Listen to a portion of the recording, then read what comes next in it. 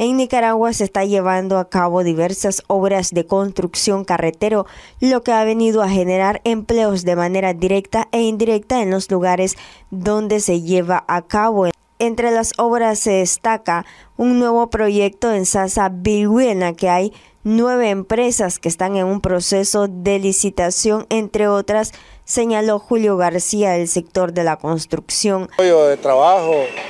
la mano de obra pues está ocupada, los trabajadores están empleados, eh, tenemos nuevos proyectos que se avecinan para el año que viene que están en licitación como el proyecto Sasa Puerto Cabeza, son 58 kilómetros.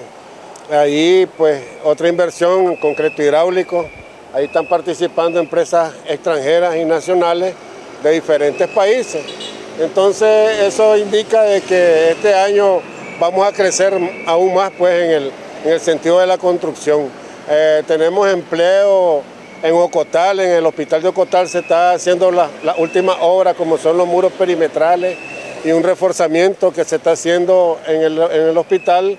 más la carretera costanera que tiene mucho empleo ahí para esa zona de, la costa y tenemos la pista San Juan Pablo II, que están las primeras etapas que ya está de lleno y lo que viene, pues tenemos inversiones privadas como en el kilómetro 9 de carretera Masaya y lo que se avecina, pues tenemos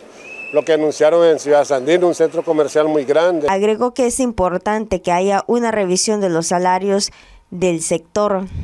El sector construcción siempre espera de que en esta negociación de salarios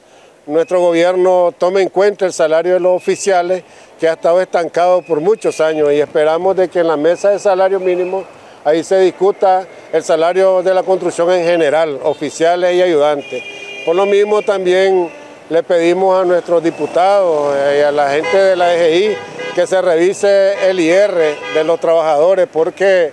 está golpeando mucho la economía del obrero y nosotros consideramos que hay que hacer una revisión, el que gana más que pague más. Noticias 12, Darlene Telles.